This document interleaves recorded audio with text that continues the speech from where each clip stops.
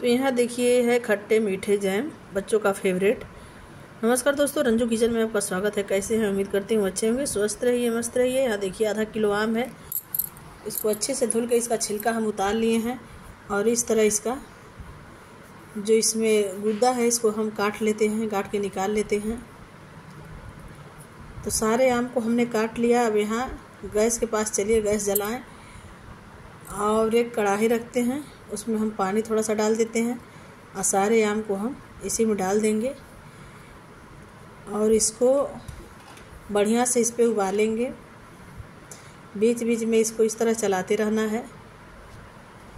बच्चों का फेवरेट चीज़ है सीज़न का।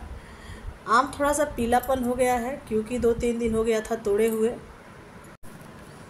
और यहाँ देखिए इससे हम इस तरह प्रेस करके देख लेते हैं।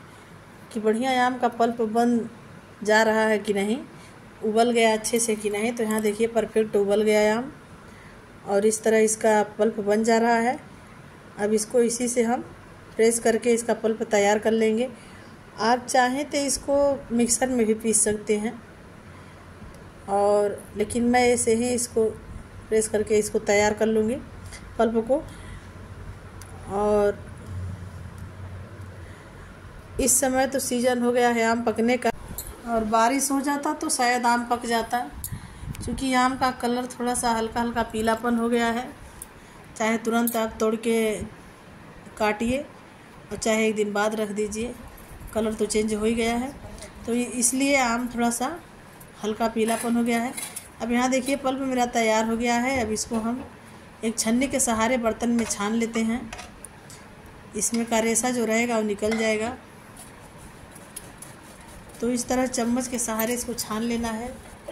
अगर आपको ये लगे कि गाढ़ा ज़्यादा है तो थोड़ा सा आप पतला उसको उतार सकते हैं। थोड़ा सा पानी और बढ़ा दीजिए। और देखिए कितना परफेक्ट आम छना के तैयार हो गया।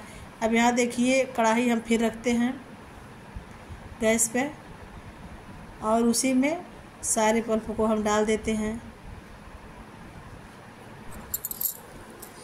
और अब यहाँ देखिए, एक मिनट पकाने के बाद हम चीनी डाल देते हैं।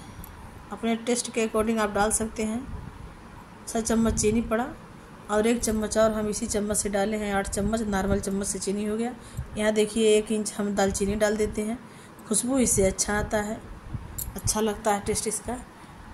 और इसको हम दो तीन मिनट के बाद देखनी है कटोरी में कि जैम तैयार हो गया है कि नहीं। तो जैम मेरा तैयार हो गया है। अब यहाँ हम गैस का फ्लेम बंद करके इसको ठंडा होने के लिए रखते हैं। देखिए, ठंडा हो गया एक डिब्बा में इसको हम रखें और इसको फ्रिज में रख देंगे। तो आप कम से कम पाँच छः महीना तक चला सकते हैं।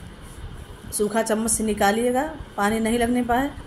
और इसको चाहे तो आप रोटी में भी रोल करके दे सकते हैं इस तरह लगा के। चाहे तो बच्चों को ब्रेड पसंद है तो ब्रेड में भी लगा के दे सकते हैं। लंच में दीजिए, नाश्ता में दीजिए। तो वीडियो अच्छा लगे तो लाइक, शेयर, कमेंट ज़रूर कीजिए। चैनल में नए हैं तो सब्सक्राइब कीजिए। घर पर बनाइए जैम और खाइए, अपने बच्चों को खिलाइए। तो बाय दोस्तों, टिक केयर, फिर मिलते हैं।